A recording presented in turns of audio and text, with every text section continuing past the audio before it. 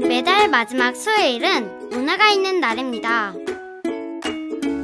엄마가 좋아하는 미술관을 가고 오빠가 그렇게 보고 싶어 하는 영화도 보고 또 아빠가 좋아하는 야구장과 함께 매달 마지막 수요일 문화가 있는 날